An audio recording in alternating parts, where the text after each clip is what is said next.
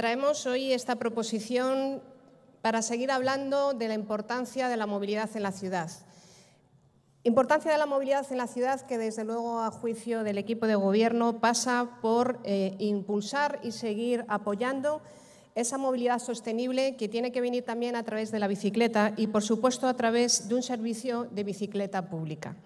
La ciudad de Madrid en 2013, eh, la anterior corporación formalizó un contrato de movilidad ciclista y peatonal para toda la ciudad que nació a todas luces infravalorado y que dio muchísimos problemas para los usuarios desde el primer momento. Problemas con los anclajes, problemas de vandalismo, problemas en general que hicieron que el servicio fuera muy nefasto y con críticas y con quejas eh, contadas eh, a cientos casi de manera continuada.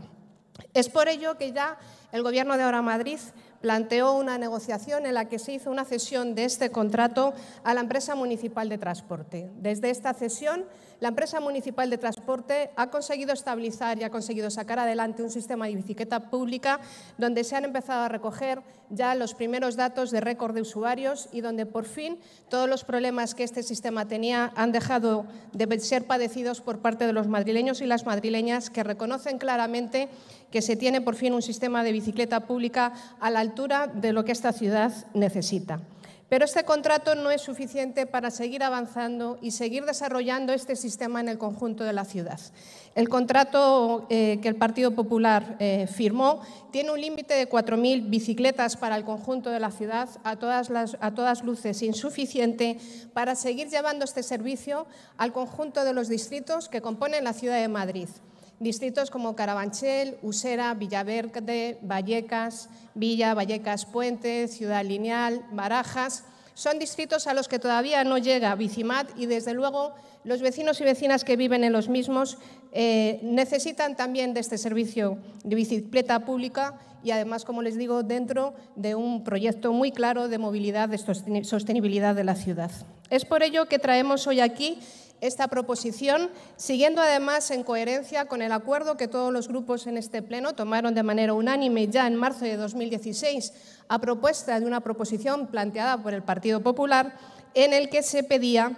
y se comprometió, por lo tanto, este Pleno ampliar Bicimat a los 21 distritos de Madrid en este mandato municipal 2015-2019. Eso con el actual contrato no es posible y, por tanto, necesitamos, y aquí planteamos seguir adelante con un proceso de gestión directa del servicio de bicicleta pública por parte de la empresa municipal de transporte para poder llegar a dar ese servicio, compromiso de este Pleno y, desde luego, también demandado por los madrileños y las madrileñas. Además, la gestión directa nos permitiría aplicar otra serie de ventajas que hoy por hoy el contrato no permite, como tarifas planas, publicidad, cambiar el tipo de estaciones y bicicleta, evitar también ciertas imposiciones del contrato que generan ineficiencia, billetes combinados con otros servicios como el sharing y un montón de medidas que el ayuntamiento tiene previsto para desplegar para mejorar el servicio, pero que con el actual contrato es imposible. Por eso pedimos a todos los grupos que para poder llevar a cabo la propuesta que aprobamos todos en marzo de 2016, nos manifestemos hoy y apoyemos que tenemos que continuar con todo el procedimiento para por fin pasar a gestión directa al servicio público de la, de la Ciudad de Madrid de bicicletas y que sea gestionado por nuestra empresa municipal de transportes.